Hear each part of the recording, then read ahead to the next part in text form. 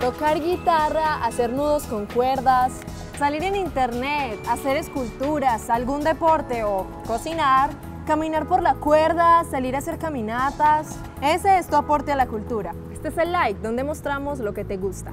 Bienvenidos.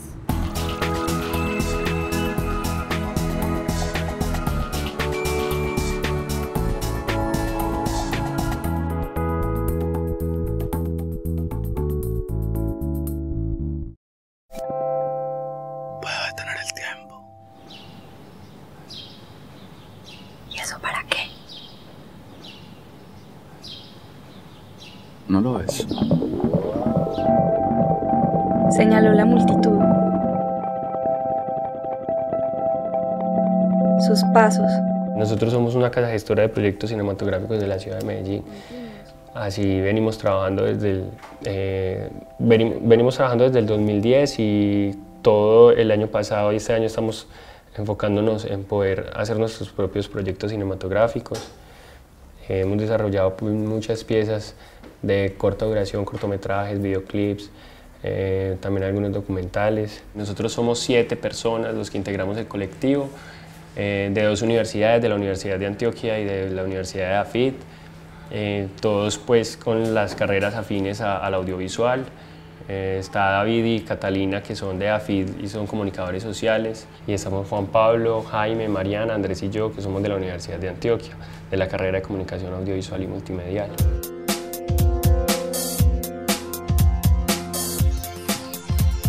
Rara empezó como un parche de amigos de universidad, como yo creo que empiezan muchos, muchos, muchas productoras. Y así empezó Rara, empezó como con... En ese tiempo estaba la convocatoria de Imaginatón, era creo el primer Imaginatón que se hacía. Hubo una reunión pues como para presentarse a, a- este Imaginatón y el proyecto salió ganador, quedó en el primer puesto con un corto que se llamaba Ocupado.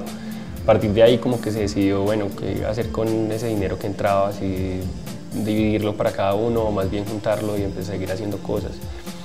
Y así fue como empezó a surgir Rara.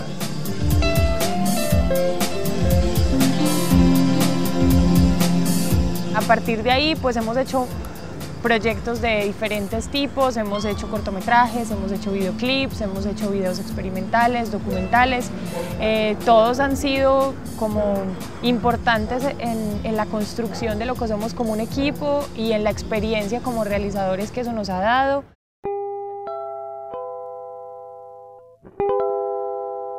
Otro de los cortos que ha sido muy bacano y muy importante para nosotros es Irreemplazable. Es un cortometraje que ha tenido un recorrido importante. En ese momento estábamos en la universidad, entonces casi todos fueron festivales universitarios, pero ha sido, pues además de que nos ha traído mucho orgullo, también eh, mucha satisfacción porque es un, es un producto del que nos sentimos pues muy orgullosos. un poco más de lo que me cansaba con vos.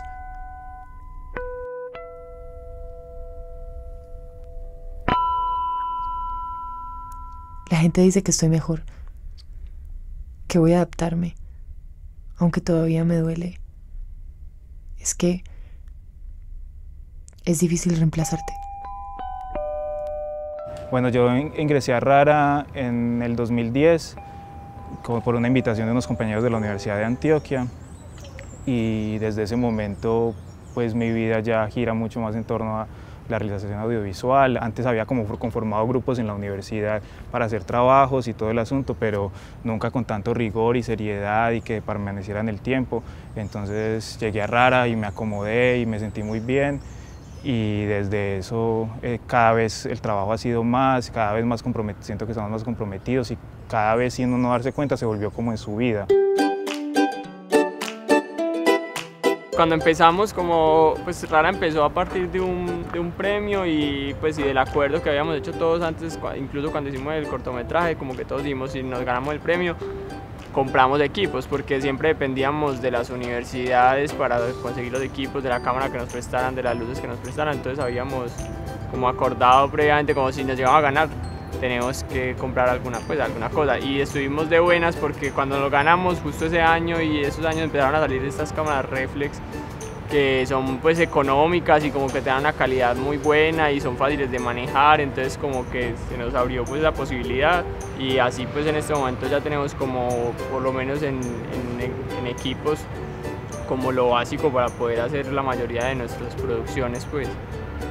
Muchos otros son armados, pues construidos por nosotros, dólicos y tal, así que hemos hecho caseramente pues o con ayuda y cosas, pero hechas en casa pues. hacíamos reuniones por internet, por correo y nos reuníamos digamos una o dos veces a la semana en la casa de alguien a, pues como a poner en común ideas y cómo iban pues marchando las cosas. Empezamos a ver la necesidad de estar como juntos y, y de estar abordando pues los problemas en, grupo.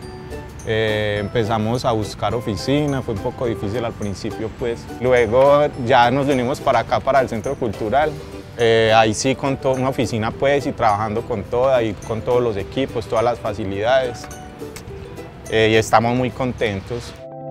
Continuo. Que no espera.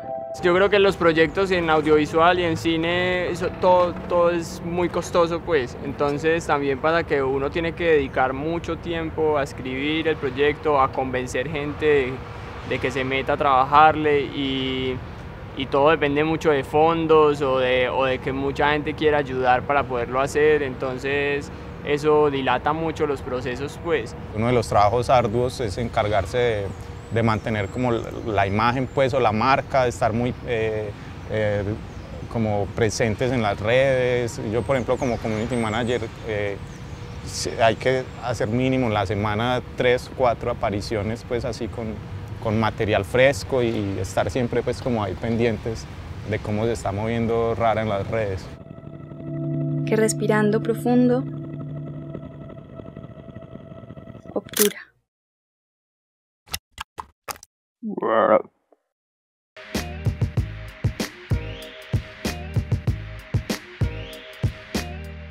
Empecé en esto del hip hop desde muy pequeño, eh, con base a mi hermano que me mostró un CD de un artista que me gusta mucho, eh, norteamericano. Y bueno, desde ahí empezó todo este ciclo, empecé como un fan, un fanático exagerado del hip hop. Eh, todos los días mantenía con audífonos, escuchando música. Y luego trascendió cuando maduré un poco y empecé a conocer más sobre la producción. Y ahí fue cuando me interesé en, meterme de lleno en esto. Mis influencias más fuertes eh, fue Tupac, eh, como productores DJ Premier, Beat Rock, eh, Jay Dilla y, bueno, un grupo que me que influyó mucho en mí desde muy pequeño fue Slum Village. Se me escapan algunos por ahí, hay mucha cosa, pero estos son los más importantes. Yo creo que el proceso empezó cuando estaba más pequeño y, empecé a escuchar el hip hop, a conocerlo. Y, noté que cuando escuchaba algunas canciones que me gustaban mucho, se me ponían los pelos de punta, me ponía rosudo. Y dije, pues esto no es normal, tengo una pasión por eso. Eh, la confirmé cuando me introduje en la producción. Y bueno, creo que es, que es algo que hace parte de mí. Eh, hay veces cuando estoy sin la producción me siento, siento que hay un vacío re grande dentro de mí, me empiezo a desesperar. Entonces es como una vitamina, necesito la música para estar ahí parado y fuerte todos los días. Bueno, esto fue Avendaño, Avenrec y es un placer estar con ustedes. Les voy a mostrar un poquito eh, de cómo realizo mi trabajo aquí en el estudio de Avenrec Producciones. Vamos a arrancar a hacer la secuencia para crear un beat.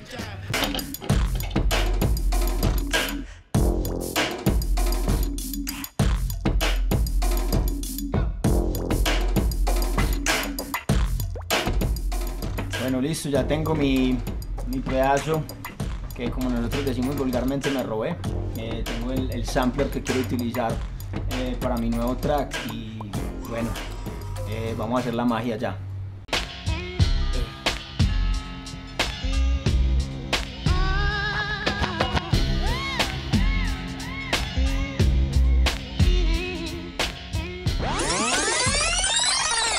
Mi nombre es Mateo Abandaño, eh, más conocido como Aven Rec. Soy un MC productor de hip hop de la ciudad de Medellín y me gusta crear mis instrumentales en base a samplers utilizando vinilos y acetatos viejos.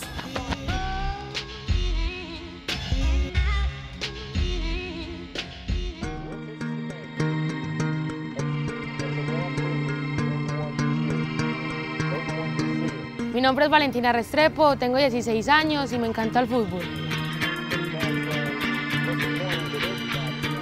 A mí me gusta el fútbol desde muy pequeña, desde los tres años. Eh, pues yo fui creciendo con el fútbol, jugaba en el barrio con todos mis amigos, en eso incluía a mi familia, mis hermanos, mis primos. Pues cuando salíamos de paseo nos íbamos a jugar el fútbol. Eh, yo fui pues una de las aficionadas al fútbol de toda mi familia.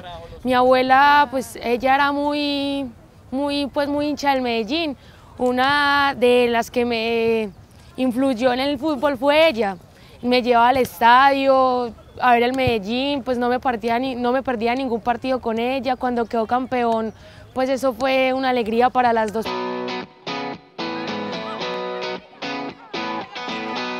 Cuando yo estaba muy pequeña, mi mayor reto era llegar a la selección nacional. Eh, pues ese sueño ya lo cumplí, pero aún así eh, quiero seguir estando ahí porque viene categoría sub-20 y viene categoría libre. La experiencia con la selección Colombia fue muy bonita porque se nos da la oportunidad de, conocer muchas cosas, como lo que es una concentración de verdad, conocer otros países como me tocó a mí que fue Paraguay que jugamos el suramericano, en Costa Rica que fue el mundial. En el suramericano pues eh, nosotros teníamos un ADN, el ADN nosotros era la familia. Cuando, pues, no, cuando nosotros nos entrábamos a una cancha sentíamos como, como el amor por nosotras mismas, por el amor por la camiseta. Al sentir eso nosotros nos llenábamos de mucho orgullo y pues eh, nos, nos sentíamos grandes, se nos daban las cosas como queríamos.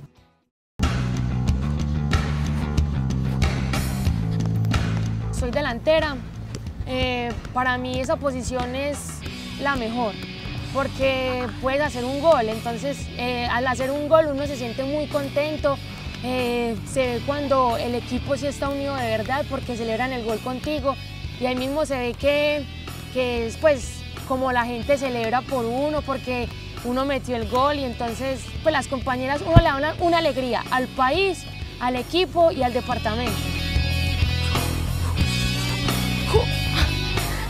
Para mí como mujer jugar fútbol, eh, pues al comienzo fue muy duro. Al comienzo fue muy duro por, por la comunidad, porque la comunidad no aceptaba de que las mujeres jugáramos el fútbol. Pero creo que eso ya ahora ha cambiado mucho. Ya el fútbol femenino ha crecido mucho en todos los países y aquí en Colombia también ha crecido mucho. Eh, yo creo que nosotras como mujeres hemos demostrado que sí lo podemos hacer, que sí tenemos las mismas capacidades de un hombre para hacerlo. El fútbol es mi forma de vida, es mi felicidad.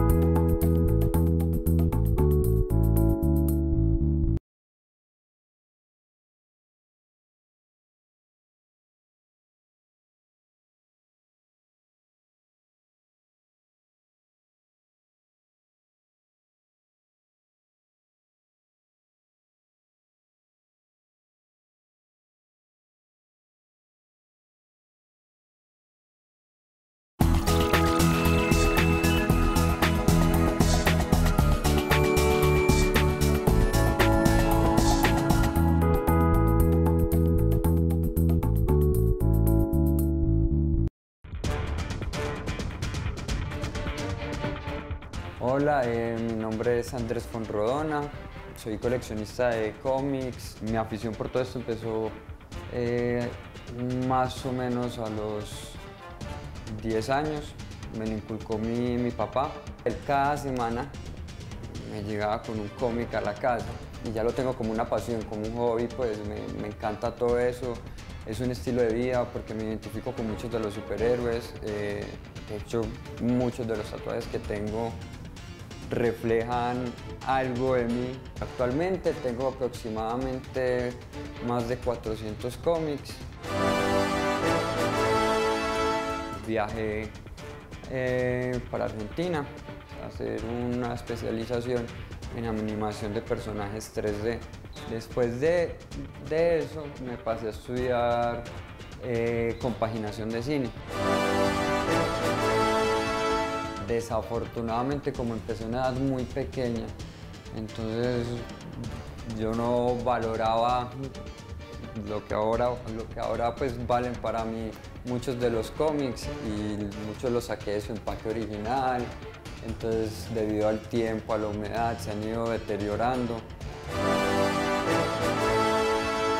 Bueno, así de superhéroes que me gusten, El Hombre Increíble, El Hombre Araña, Batman, La Mujer Maravilla, ah bueno, y Deadpool, me encanta. Y bueno, y hablando un poquito pues de superhéroes olvidados, por un lado DC Comics, Aquaman, y por otro lado Marvel tiene a Namor, que Namor es, es héroe y antihéroe, o sea, es héroe y villano. Ahí están las diferencias porque en realidad los dos son muy similares. Los cómics empiezan a bajar y Namor desaparece. Y bueno, con respecto pues a Aquaman, o sea, en cierta parte similar la historia, él nació en Atlantis, él era hijo de, del rey de Atlantis y la reina, pero él fue exiliado. Ellos no podían subir a la superficie a respirar aire, puro. Cuando se dieron cuenta que Aquaman subió a la, a la superficie y pudo respirar, eh, lo vieron como algo anormal y lo desterraron pues. Aquaman, veloz y poderoso monarca del océano, capaz de mandar y agrupar a todas las criaturas del mar. Aquaman, secundado por su joven aliado Aqualab, guarda y defiende a todos los seres vivientes del mar contra todas las fuerzas del mal. Aquaman, rey de los siete mares en otra aventura más. Bueno, vamos a salvar a Aquaman. Ahora atacaremos con nuestras tropas. Sumérgete rápido, Aqualab. Ha sido mal, malentendido, porque si nos ponemos pues a analizar, Aquaman hay que verlo desde otro punto de vista y no como el superhéroe realista, sino que el superhéroe mitológico, que interactúa pues con, con sirenas, criaturas pues fantásticas. Entonces lo bonito, él sería como el Poseidón, el guardián de los siete mares. Él fue uno de los fundadores de, de la Liga de la Justicia junto a Batman, Superman y creo que también la Mujer Maravilla alcanzó a, a intervenir ahí. Entonces, o sea, en ese lado hay que agradecerle a Aquaman porque nos dejó un, legado muy bonito y es la Liga de la Justicia.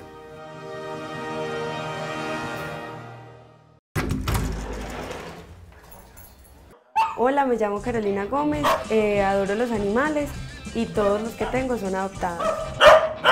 Para mí los animales eh, son seres que le ayudan a uno a volver el corazón grande.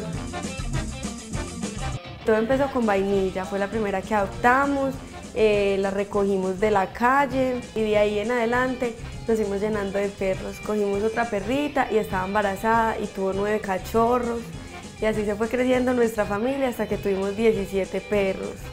Y ya pues por cuestiones de trabajo nos tuvimos que volver para Medellín y acá conocí a Gato Loco, una fundación que también recoge gaticos de la calle y yo la vi a ella y me enamoró. Se me zafó mi perrita, no ha salido por acá. Ay, qué pena. Una historia de las perritas que tuvimos eh, fue Luna. Ella la dejamos pues como en una finca y de ver que nada, que no nos volvieron a mandar fotos, que no aparecían, que no nos contestaban los teléfonos.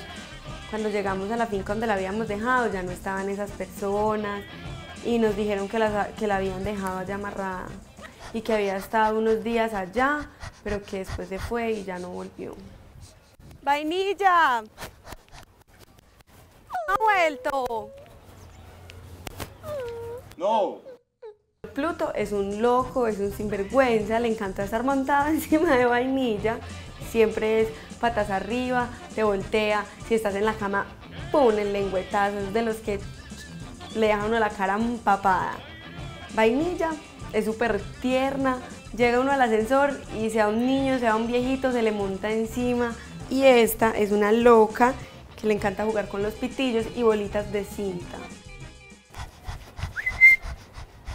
Vainilla.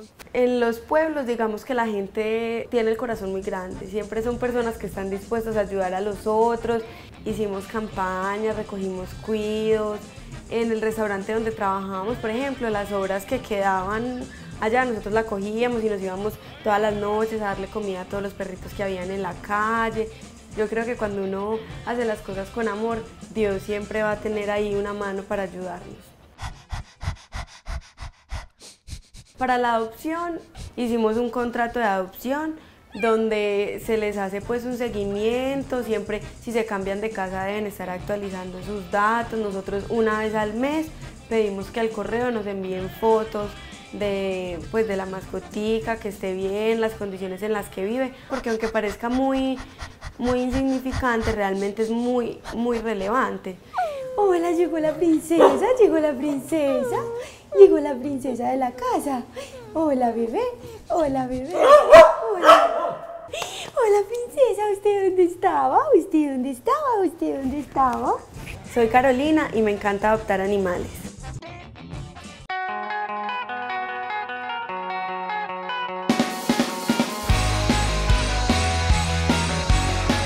Desde pequeño eh, jugaba Play y ahí aparecen como los nombres de las cosas e imágenes pues, entonces uno hacía como la asociación.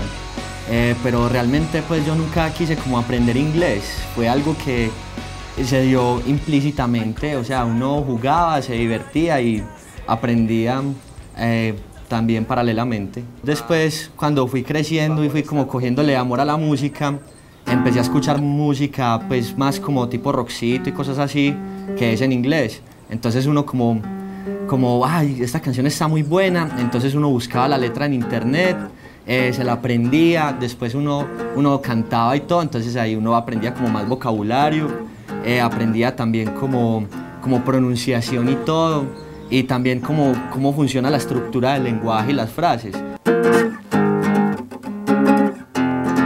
Aparte de mi proceso con los videojuegos, con la música y con las películas y videos, pues también ya después cuando me di cuenta de que realmente eran herramientas útiles para aprender inglés, comencé a interesarme más por estos métodos y ahí fue que, eh, por ejemplo, configuré el celular en inglés, configuré el Facebook en inglés y de cierta forma eso le permite a uno obtener más un vocabulario más, más amplio y posteriormente también cambié el idioma del televisor a inglés para también practicar con los programas que uno ve cotidianamente.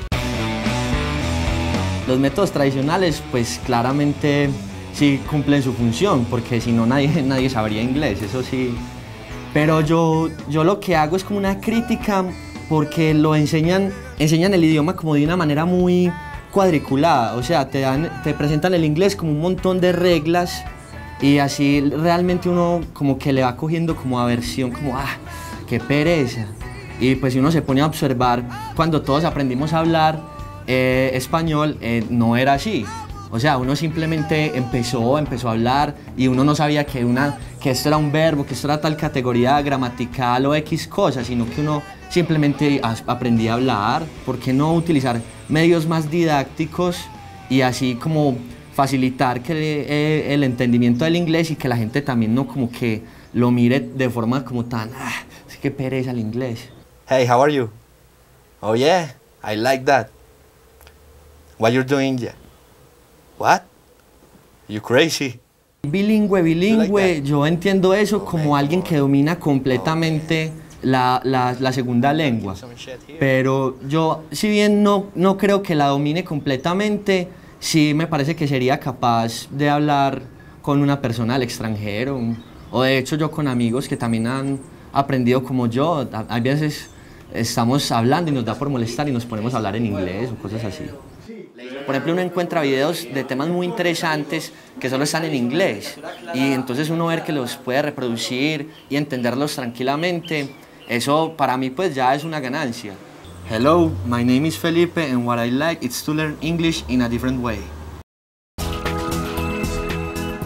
¿Y a ti qué te gusta?